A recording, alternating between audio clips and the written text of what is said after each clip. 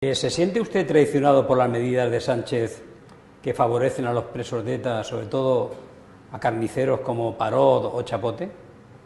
Pues eh, mira, esto a nosotros en su momento institucionalmente nos prometieron que cuando se acabase con ETA, bien policialmente como fue, o bien a través de negociaciones políticas, que nos eh, rehabilitarían en cuanto sacasen a los presos de ETA. En este caso concreto nos ha traicionado Sánchez porque está rehabilitando a todos los presos de ETA, a Otegui, a todos los presos de ETA, los está financiando con toda la administración vasca y la, la administración central, les da un sueldo mensual, les facilita vivienda y nosotros estamos pasando numerosas necesidades a cuenta del abandono que hemos sufrido por cumplir órdenes de un gobierno socialista.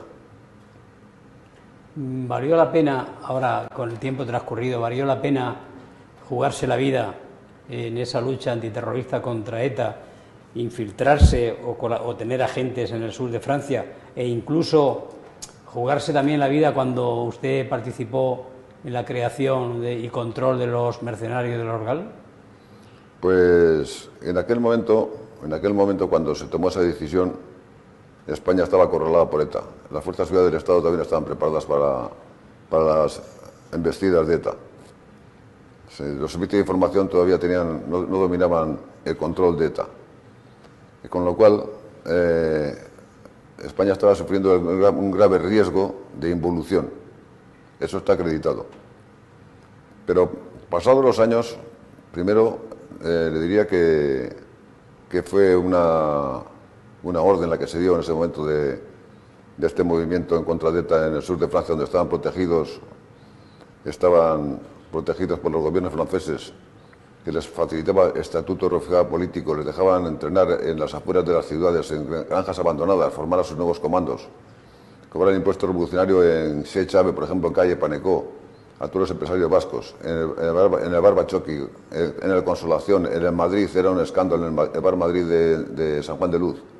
Había cola de empresarios que iban a preguntar, la clave de ETA era señor Ochía, y le mandaban a la casa del cura Pierre Larzaban en Socoa. Estaba totalmente permitido por las autoridades francesas.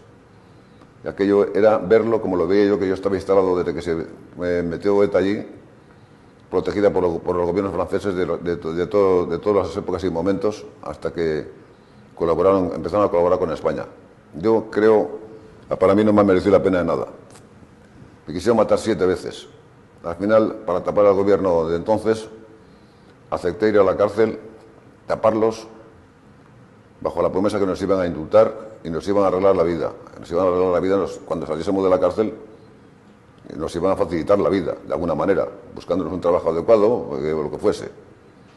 Y nada de eso se ha cumplido. Nos han dejado absolutamente tirados. A los únicos que han rehabilitado y han facilitado la vida es a los que han matado a casi mil personas en España, que ha sido la organización terrorista ETA. ¿Quién le iba a decir a ETA en su momento que Otegui iba a ser uno de los sostenes fundamentales del actual gobierno en el poder? Que ETA esté firmando leyes en este momento en el gobierno español, en el Estado español, me parece una aberración.